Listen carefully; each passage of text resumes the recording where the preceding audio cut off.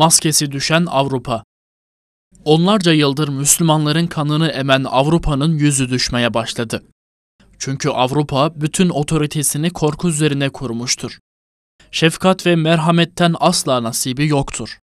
Gerek Hollanda, gerek Almanya veya Avrupa'nın bütün ülkelerinin Türkiye'ye takınmış olduğu tavır tamamen içlerinde yatan kin ve nefretin ortaya çıkışıdır.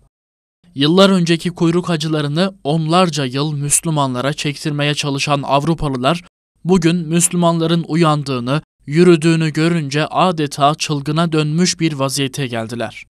Daha önceki zamanlarda da en küçük fırsatı değerlendiren Avrupa, ellerindeki gücün, hakimiyetin kırıldığını, yok olduğunu görünce olayı biraz daha aşikar etmeye başladılar. Mahalle muhtarına yapılmayacak muameleyi bakanlarımıza yapması bunun en açık göstergesidir. Onlarca yıl adeta kendilerini adalet merkezi olarak gösteren Avrupa, sivil halkımızdan ticaret erbabına veya devlet yönetiminde etkili olan tüm vatandaşlarımıza zulüm üzerine zulüm yapmaktadır. Hani nerede bunların insan hakları? Nerede bunların demokrasi anlayışı? İnsanlık hürriyeti, özgürlüğü nerede? Aslında bunlar bugün kendilerini ortaya çıkarmıyorlar. Dün de böyleydiler. Bunlar Müslümanların asla huzurunu istemezler. Müslümanların kendi ayakları üzerinde durmasını istemezler. Müslümanların söz sahipliğini istemezler. Bunların bütün kanunları kendilerini yürütmek, kendilerini korumak ve insanları kendilerine köle etmek içindir. Şu anki infialler her ne kadar bir ülkede ortaya çıksa da Avrupa'nın bütün ülkeleri aynı zihniyeti taşımaktadır. O yüzden Müslüman, Müslüman kardeşine sarılmalı, kendine yetmeli.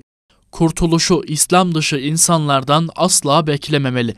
Kendi içimizdeki mesele onları hiç ilgilendirmediği halde gündemlerine taşımaları, hatta birikintiler, yürüyüşler yapmaları Müslümanlara karşı ne kadar da kindar olduklarının en büyük örneklerindendir. Ama şunu iyi bilsinler ki biz yılmayacağız, bıkmayacağız, usanmayacağız.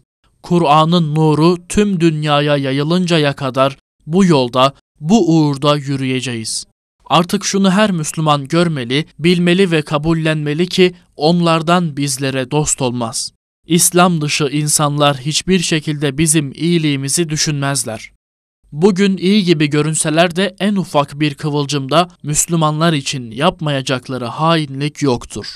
Müslümanın dostu Müslümandır, Müslümanın kurtarıcısı Hazreti Allah'tır. Fatih Medreseleri Yazı İşleri Kurulu